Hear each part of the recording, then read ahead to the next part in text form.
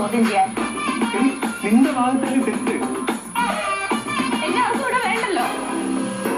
ഇനി എന്നെ എന്റെ മോളെ കാണാൻ അങ്ങോട്ടേക്ക് വന്ന.